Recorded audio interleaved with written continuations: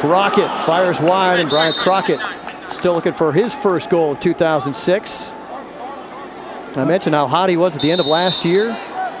This guy scored 18 goals in the final four games. And Brian Crockett looking to get on track here in 2006. Leicester doing a nice job on Lavelle. There's Crockett. In the crease. Play on. Tried to take the feed from Lavelle, and it was broken up by the Black Knights. Well, both those players came as advertised, Leicester and, of course, Mr. Walker. They've done very, very well today, and this game is very close. Well, the Orange at least trying to get in closer and not settling for the outside shots there, but they came up empty on that possession. And every possession now becomes so much more important as Brooks Corvin looks for a little pick there. Corvin, a freshman for this Black Knight squad. Behind the K's to Shield. And now the Orange coming out. Evan Brady out top, watching Corvin. Panarelli still glued to John Walker. He knocked the ball loose. Kicks it to his teammate. Brady picks it up. Steve Panarelli's playing a terrific game. Dan Hardy gave it up. Bucktooth fires and scores. And the Orange have their lead back to two with 8.30 to play. Those unsettled situations, when they're getting that ball up there, they're able, they've been put three or four in. It's nice to get that, and they've gotten it off of some great plays. Panarelli did a great job of starting that off. He won't get an assist, but he should. He kicked the ball over here. Was going to see it. Oh, great replay. He takes it away from Walker. Watch the foot right there. Great job looking ahead, got it down quickly. Evan Brady, the long stick midfielder, did, and then Buck firing low. And makes it 11-9. To Dan Hardy. Yeah, nice look by Hardy. As we just had another 22 up here in the booth, and 22 comes up big down there as Craig Hammond battling for the ball, but the Black Knights win it. And they will back it out a little bit and set up shop. Ryan Chase coming out of the field. Nick LaRusso as well. Watch seven Obringer. He's been uh, he's been able to get open in any kind of unsettled situations. He's been flashing on the on the crease and has been one on one with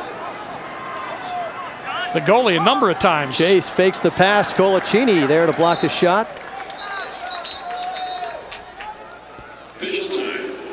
And we have an officials timeout with 7.50 to play in the orange. A two-goal lead but no two-goal lead safe here this afternoon. And the Black Knights will have to come back one more time. Down by two, under eight to go.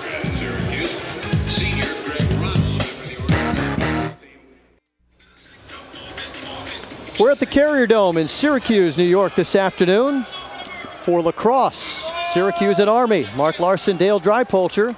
Good to have you with us on opening day of 2006 for the Orange and the Black Knights. And the Syracuse Orange with a two-goal lead.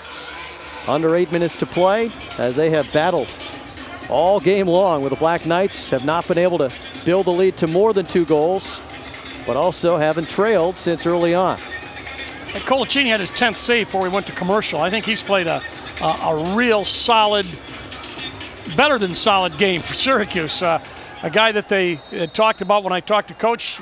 It was real close between he and Myers, and Oh. Right in front. And we're going to see the man ended up no. in the crease. They're going to wave it off. They're consistent. That's what you got to be as a referee. So still an 11 to 9 game. See, they're going to force that long pass. Guadagnolo, Panarelli, back and forth they go. And now Panarelli going to bring it up. Yeah. Kenny Nims on the run. Nims short stick got right there, boxes it up. Over to Babbles. And the Orange look for that elusive three-goal lead. And try and put a little cushion between themselves and the Black Knights. Now they can be patient. Not that they haven't been before, but they got the next midfield and Abbott's in, the freshman. Babbles a sophomore. Two of the top four winningest programs in college lacrosse history. Division One, Bucktooth. Oh, Score the last two for the Orange. He almost had a hat trick. he should get a little spray paint and Xed it right there because that's where he's been his last two That's his goals. spot. That's his spot, and they let him have it again. Uh, I would be uh, concerned if I was Army. They've got uh, 27s on him, Narcom, and he's done a good job. He hadn't done anything till this last uh, couple of minutes, and he's had two important goals for for the Orange. And Narcom has played well this afternoon. But Bucktooth just getting enough room to unload the cannon. Black Knights fourth all-time Division One college lacrosse wins behind Hopkins, Syracuse, and Hobart. So two very proud programs that go back a long way. And actually both opening up their 87th season of lacrosse this afternoon. That's off Army. And the Orange looking to spoil opening day for the Black Knights for the fifth straight year. Six minutes and 10 seconds away from another 1 0 start. Orange will hit the road next week and then be back here with Georgetown on Friday the 10th. We got Syracuse for 21, 21 turnovers, which is uh, maybe to be expected your first game, but uh, you really got to tighten them up here with uh, six six minutes left. That last one could have been a turnover, but uh, it was off of Army. Lavelle makes the move, spins, finds the cutter. Yeah. Abbott scores again. Matt Abbott out of Nottingham High School has a couple of goals, and finally the Orange able to establish a little breathing room now with under six minutes to play. I think the defense is a little tired. And watch Lavelle. He draws a he draws two. Now somebody's opening, and then there's a trailer right there. Abbott cuts down and gets inside that zone defense and buries it. So nice job by Abbott. So they've uh, been able to this last couple minutes penetrate that defense, which has been so tough for the first three and a half quarters. And Joe Alberici calling a timeout. And Dale, we talked about the shot selection, and they're getting the shots in close now. Right, and uh, you know they were taken from the 10, 12, 15 yards, and not even really good angles at, at different points. Well, that's part of that is you know you get frustrated, but of course uh, they've gotten uh, they've gotten some good shots off. But Fullerton very early stopped them, so he's played a good game between the pipes. The, the local kid from Liverpool, so both goalies have, have showed up and played very very well. But Syracuse Bucktooth had those two goals, and uh, they're getting that penetration, and that defense for Army looks a little tired. And another reminder for you that Monday afternoon we'll be back here at the Carrier Dome for more Syracuse lacrosse on the women's side as the Orange women look for a 2-0 start. They'll be hosting the Dartmouth Big Green Monday afternoon at 3.30. Join Chris Watson, Kathy Taylor for the Orange and the Big Green Monday afternoon 3.30 right here on Time Warner Sports. one of the things in talking to John Desko, the things that he liked this year that didn't like last year, depth. You see the guys playing, and, and I, I think, as I said, just Army defense looks a little tired. They, they've really been been pushing them, and when you can bring in some freshmen in a, in a third midfield uh, and, and, and and mix your uh, your lines up and get good effective play like that, uh, that's what he likes to see. So I think that's a, a real key for them, the depth, especially at midfield and attack. They've been they've been running four or five people at attack. So Syracuse looks like they've they've got a lot of good depth this year. There is the score by quarters, and the Orange with four goals in the first and four so far in the fourth quarter to take control, and 12 goals scored by eight different players. So there's some more of that depth.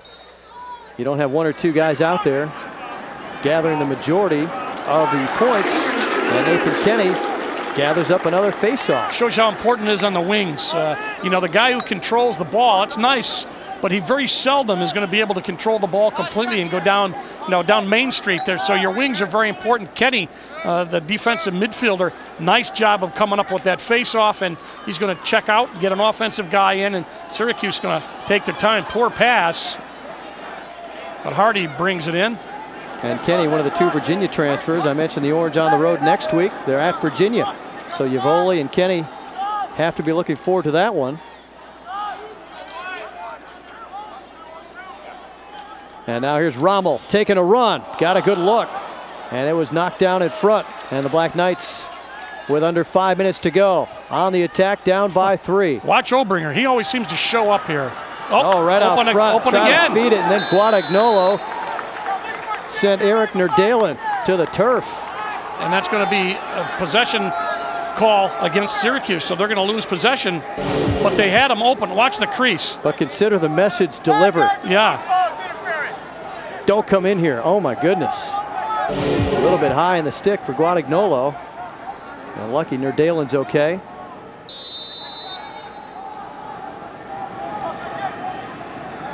This is Shield trying to get around Guadagnolo. Oh, got a step. Cardosa Slide. got behind him. Uh, no cutter there. Walker knocked to the turf, lost his footing. And now Walker out top. Evan Brady all over him. Long stick midfielder keeping his hands. There's a double. Gets some help. Now three guys converging on John Walker who hacks at the stick. Somebody's got to be in the hole. Syracuse still got to play defense. Ball way up in the air now. Guadagnolo pulls it down. And the Orange faithful really understand the game of lacrosse here. It's one thing coming from Oregon. Oh! Oh, bad pass by Guadagnolo. Did a great job all the way down and then threw it out of bounds. But coming from Oregon, the people out there really understand track and they know when to clap. It's not just always when the race is over, but they can sense things going on in the game, not just the goals. And the same thing for the uh, lacrosse community here, as the folks here really understand the game so well and applaud things like ground balls and clears and So there was a big turnover right there as they, they forced the long diagonal pass and really set up there. Uh, Carosa was waiting for the ball. Fortunately, he didn't touch it because it went out of bounds off of Army. So they, by playing good defense, riding hard, forcing that long diagonal pass, Syracuse gets the ball back after a poor pass on their part. So these are the things that both teams are going to be working on. Both teams have thrown the ball away uh, when they shouldn't have. Let's see if uh, Syracuse got 340 left, what they're going to do with a three-goal lead. I tell you what, they're not going to take any bad shots. content to work it around and work some time off that clock. And of course, when it gets under two minutes, they've got to keep it in the box. Then they have to keep it in the attack area. Yep. Ramos got it with his 3-9 in uh, mechanical, Oh, my biomechanical goodness. engineering. They throw the ball away, just as I said it. He and Yavoli not on the same page. Well, you know, they don't do a lot of passing in biomechanical engineering. I dropped that, of course. That's uh, almost like getting an A minus on a test for Greg Rommel. Doesn't happen very often. He had 99 average in high school. How about that? Yep. Here's Boy, he's creating played- some space, and his stick well. was checked just as he delivered. He's played well. Was that for Army? Got there at the end. Double picking the number up, but Carosa got a stick on Obringer's stick as he tried to trigger the shot. there's the they're doing a lot of a lot of cutting here from the crease, little circle. Syracuse just playing man to man. John Wright all over near Nerdalen. Let's find Walker there. If you see Walker, you're going to see Panarelli. Right on net, and a shot and a goal. A high bouncer from John Burton. So Burton brings them to win two, 233 left. You know, you can talk about faceoffs all you want. Syracuse is 16 and 9, but this is the one that's most important. You're going to see Burton get the jump right there as he gets by number 17, Carosa, and then gets a good look and just takes a little off of it. Nice hop as he got the first bad play I've seen Colaccini make. He went down, ball went up. You don't go down to the last minute. John Burton out of Jordan Elbridge. Sure, he's got some friends and family in the stands, and he's cut the deficit to two now, but a big face-off win for the Orange. Oh. Can they keep possession? They've thrown it away the last two times. Yeah, oh, you hate to see that. John Desko's red hair is going to start to turn a little gray. This continues. Now Ramos back in. He's got Crockett in. All experienced guys. And the attack behind, he's got Yavoli there. Yavoli looking at the clock. He's got to stay clock. in, yeah. Now under two minutes, they'll have to keep it in, Now Hardy's that attack area. Hardy's got a short stick on him at 6'4", and he's got uh, number 21 on him, Rhodes, 5'10". Early Orange working some clock here. Up by two. Looking to win their 10th consecutive season opener. Boy, yeah, stick protection is very important here. really is because they're going to start The goalie will come out here in a second. He's going to start doubling. He's going to. He's right now. He's out. Goalie's out playing defense. So an empty cage. Yeah, well, they can double the ball the all the time. Knights. Ball comes loose.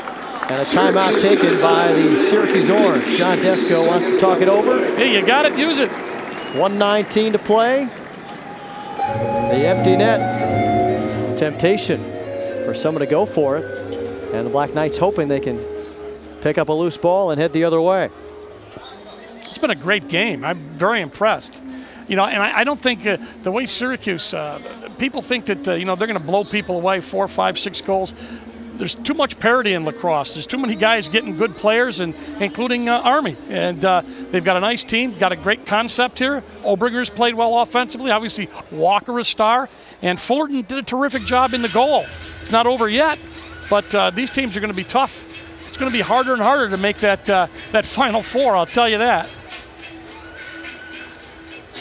Well, the Orange, it doesn't get any easier, as you said, Dale. Next week on the road at number four, Virginia. And then back home with Georgetown, who's ranked number seven. So you get out of the chute with three straight games against top 15 teams.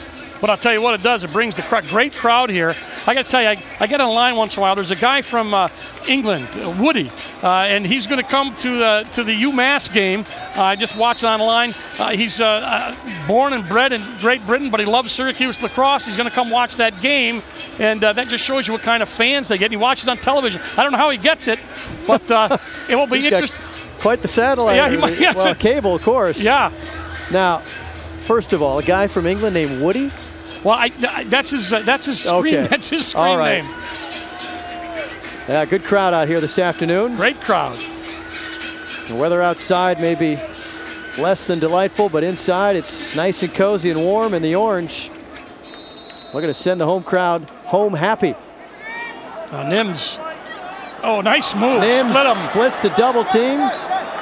But how about that? Good he poise for the freshman. But he didn't succumb to taking the shot because even though it was open, there was somebody kind of sliding back door to, to help. And nice. Al Hardy also splitting the double team. So how about the freshman doing the job here? Killing some clock, and now Brian Crockett had a stick check, but hang on. Under a minute to go. And another timeout going to be called for the Orange. Down to 49 seconds. That clock not going fast enough for John Desko. Last time the Orange lost the season opener was 1996. And all time here at the Dome in Dome openers, they are 23 and 2. So you don't see the Orange lose here on opening day very often. And they led 6 to 5 at the half. It has been 6 to 5 again here in the second half. It's time to wrap this one up. A lot of shots. Uh, Syracuse unofficially uh, 43 shots or so. That's a lot of shots. But uh, one of the things that they talked about was the, the new offense. But uh, I think that they've got they got a lot of potential. They're playing a lot of freshmen, a lot of people who didn't play much last year, and a lot of freshmen. So Syracuse is only going to get better. And Coach Alberici with his new defense out there really bothered the Orange for a good part of this game. Well, yeah. I mean, look, Bucktooth didn't even right get on the board there. Right? Yeah. Second quarter and the third quarter really bottled up the orange. And Alberici is saying he's you know not going to come in and change a whole lot after 22 years under Jack Emmer. Just going to throw in a couple of wrinkles and hope to add to what they have been doing to continue their success. And I think, you know, they may not come out on top today, but he'll still feel pretty good about the way his team played as Nims breaks free and that was an easy one. He paid for it. Flags come flying. Kenny Nims scores his first career goal for the Orange, and he'll remember it because he'll have a nice bruise on his side for a while as boos rain down. A little frustration showing for the Black Knights. Well, you wouldn't think that that would happen with, with Army, I guess. They make the living on being disciplined, but Wijzinski lost his head for just a moment. Nims dumped it in the net. 13th goal of the game for the Orange. Kenny Nims is still down on the field.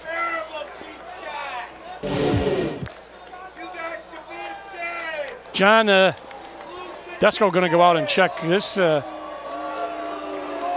was a late hit. There's no doubt about it. It was blatant. I mentioned Kenny Nims, his father Tom. Great one of the all-time goalie. great goaltenders here. And also, he's got some cousins on this team. Greg Yeah. Naroski from the Watertown area and Brendan Loftus are a couple of his cousins. So a, a family get-together every time the Orange take the field. And Nims being helped back to his feet. He got the empty net. And still not looking And he got hit, but he's up. 100%. Okay, number 10. He'll feel that one for a while. So goal number one of Kenny Nim's career comes with a certain price. It'll be memorable. Three-goal lead, 32 seconds remaining. He'll remember what happened immediately after that Yeah. first career goal. Right. So the Orange up by three again with 42 seconds to play. And look at assault away their 11th straight win over the Black Knights of Army. How about uh, Colaccini? Because uh, in talking to John earlier this week, he said, you know what? You may see two goalies. You know, we, we, And we may still think- may. We, we, we, you're right. We may still see. Myers is uh, right there, but boy, I tell you what, he, he played well, and uh, it's nice to be able to say we got two guys who can play like that. But on the other hand, he's also, more than once, as Hardy takes some abuse. Got it to Rommel. Look at that. Five Army guys converging. Flags coming down. And more flags as things are getting a little testy out there. And Chippy. Now Yavoli going face to face with Tori Sokol down there. I think every official has thrown every flag he has. And uh, they're going to toss some folks. Anyway, I started to say more than once Desko referred to Colaccini's situation as very similar to Pfeifer's. Maybe he can do the same thing. Right. Redshirt his first season and then come in and start every game the next four years. And we mentioned at the top, Pfeifer winning a couple national championships and nine games in the NCAA tournament. Tied for first all time here at Syracuse, left quite a legacy, but how about the action down there? It's getting Yeah, there was uh, a little cheap and yeah. There's poor, poor Rommel. rough. I tell you what. Where'd all these guys in the black At this uniforms? point in the game, I think it's don't pass it to me. Yeah. Well, and of course you have to keep it in the box. you have to keep it in the box. And they're they're picking the flags up. They've been. Now the army guys are It's a nice gesture, yeah. Yeah, right. Well, They they, put piled them, them pile, all. pile them up for them. I don't think they have enough space on the board for the uh, all the penalties. It's like a hockey game. 28 seconds left in this one, and this is something neither coach really wants to see. The end of it ending up like this. You know, a lot of local guys too. Fullerton, as we've said a, couple of times, the, the goalie from Liverpool playing for Army, done And a his- terrific job. And His twin brother Twin Patrick brother, yep. also on the team. Yep. One of the midfielders. So the officials sorting this one out. And we will eventually tick off the final 28 seconds. Long 28 seconds. Is that official going to keep all the flags for himself? I think he, they- yeah, yeah, I think he's got them all. well, there better not be another penalty or They'll throw the hat. All right, well, the Black Knights are going to start with possession. And not for long. Bucktooth took it away. Fullerton scrambling back to the cage. Bucktooth, couple of moves, and he put it in. He's got the hat trick. And a nice way to cap it off. His younger son, Brett Jr., born six months ago today, and Brett Sr. doing a little celebrating of his own. Watch the move he makes here. Am I going to get a hit? No. And then he takes it from the left hand, cross hand, brings it back right hand, and Mr. Bucktooth gets his third. Well, he had the hat trick all in the fourth quarter. Yeah, it took him a little while, but uh, he's warmed up. Of course, there's a lot of bodies out there. There's, so, so there's let me see, one, two, three, four, five, six, seven, eight guys for uh, Army. So they're down two. And even if Syracuse is down, let's see, one, two, three, four, five, six, seven, eight. Three, so there's now four. Eight on eight. Yeah, yeah, but there's four fewer bodies out there. So there's a lot more space.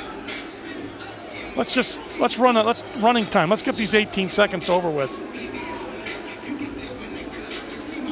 Some discussion going on down at center line. And really, at this point, it's all moot. The Orange are going to win this one.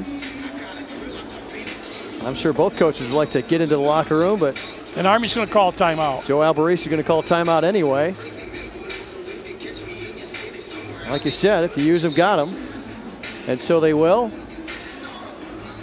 And if, if it were me, I think I'd be saying, listen, guys, 18 seconds left. Let's not do anything stupid out there. Let's just get this over with, learn from it, come back the next game. I mean, let's face it, they're taking on the number five team in the country on their home turf opening day. They played pretty well, even despite these last few minutes. But Brett Bucktooth, one more look at that last goal. Well, you see the body going to come from the left, right there. Now watch him goes cross-handed, brings it back right-handed, and Fullerton commits. He, he puts it in. As we said, they're playing with uh, four fewer bodies on the field. Both teams down two, and uh, creates a lot of space there. And give Brett Bucktooth any space, he'll, he knows what to do with it.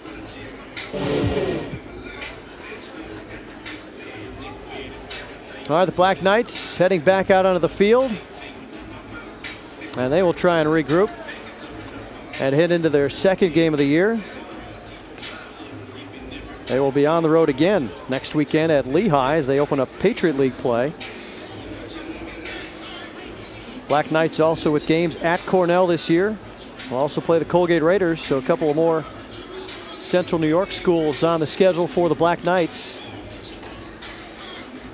coming off an 11 win season last year and trying to build on that. But again, much different looking team. The new head coach and the leading scorer, goal scorer gone. Both sides now two men down. Sides are even. Yeah, I think Army Army's going to be very good. I think, as I said, I think the competition at all the levels is going to be it's going to be terrific. Black Knights, one final push toward the net. It's Shield, a high bouncer, a little too high and over the cage. Nine seconds on the clock as Walker goes back to retrieve.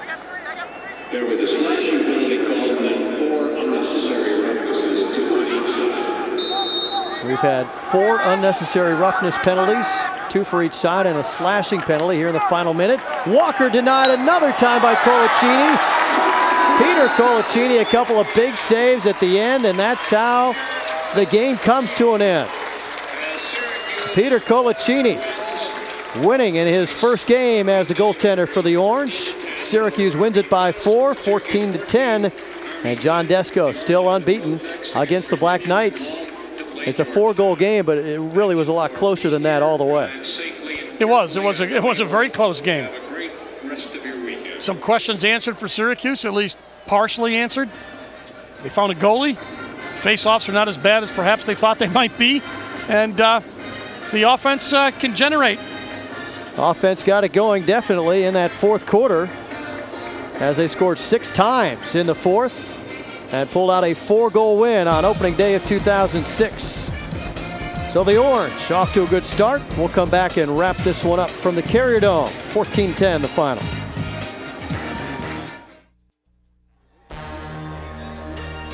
For the fifth straight year, the Orange have opened up the season with a win over the Black Knights of Army. 14 to 10, our final here at the Carrier Dome this afternoon. And the Orange and the Black Knights meeting in midfield, shaking hands, and a little bit rough at the end. Uh, things got a little chippy out there, but the Orange uh, pulled out a good win. Well, that's what lacrosse is. This is not a game for the faint-hearted. There were some big hits on both sides out there, and Peter Colaccini really came up big in Nice his job. first game as a goaltender here. yep, redshirt freshman. Done a great job. All right, he's uh, standing by with us down on the field. Let's talk to Peter Colaccini. Uh, Peter, congratulations. Thank you very much. Thank you. Thank you. How'd you feel out there? Uh, kind of a rough start for you. You gave up two quick ones, but then you really settled down. Yeah, yeah. I got a little nervous in the beginning there. Got the jitters out. Um, had a couple nice shots and caught me off guard there. Um, but try to get focused and uh, our team got back into it. So As the game went on, did you feel more comfortable with the defense? You guys looked like you were uh, communicating and uh, and doing things a little bit better as the game wore on. Yeah, yeah, yeah. I think we were causing uh, causing situations for them to score, and um, and we settled it down, settled into our regular defense, and we played pretty good uh, man-to-man defense and did a good job. All right, you end up winning by four. Next up, number four, Virginia. I mean, it, it, the schedule just doesn't get easy, does it? No, yeah, Virginia, Georgetown, Hopkins. Those are three of the best teams in the country right there. Um, we had to go back to drawing board and uh, uh, keep on working hard, and uh, hopefully things will go our way next week. All right, Peter Colaccini, thanks for being with us. Thank you very much. He's Take our care. player of the game, brought to you by the Fernandez Automall. So the Orange start out 1 0. What do you think? They ready for Virginia next week? Well, you know, are you ever ready for Virginia if you have to go down there? But I'll tell you what, they're more ready than they were before this game. A good win for the Orange, and that'll do it from the Carrier Dome. The Orange win at 14 to 10, despite Mike Obringer's best efforts. Black Knights go down here in Syracuse. For Dale Drypulcher and our producer director Chuck McKean, Mark Larson saying thanks for watching this afternoon as the Orange, again for the 10th straight year, are 1 and 0.